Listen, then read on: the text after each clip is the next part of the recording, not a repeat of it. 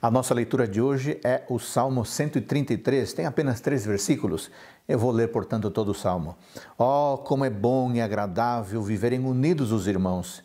É como o óleo precioso sobre a cabeça, o qual desce pela barba, a barba de Arão, e desce para a gola de suas vestes. É como o orvalho do Hermon, que desce sobre os montes de Sião. Ali o Senhor ordena a sua bênção e a vida para sempre.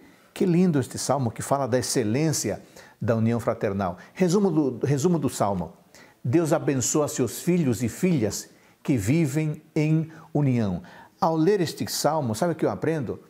Eu aprendo que os relacionamentos precisam ser harmoniosos, duradouros e agradáveis. Por quê? Porque essa é a vontade do nosso Deus. A leitura de hoje, amigos, é importante, é importante para nós, porque os relacionamentos são essenciais. E se Deus está disposto a abençoar nossos relacionamentos, isso é fundamental para a nossa felicidade e para o nosso pleno bem-estar. Que a graça de Deus acompanhe você e a sua família no dia de hoje.